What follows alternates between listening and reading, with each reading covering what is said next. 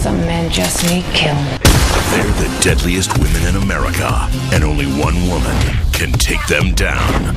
Easy as apple pie. From executive producer Sofia Vergara. I don't want to step on toes. And yet you just did. Eight weeks, eight killers, one dangerous ranger. Isn't it the same dress? Same gun, too. Killer Women. Series premiere Tuesday, January 7th.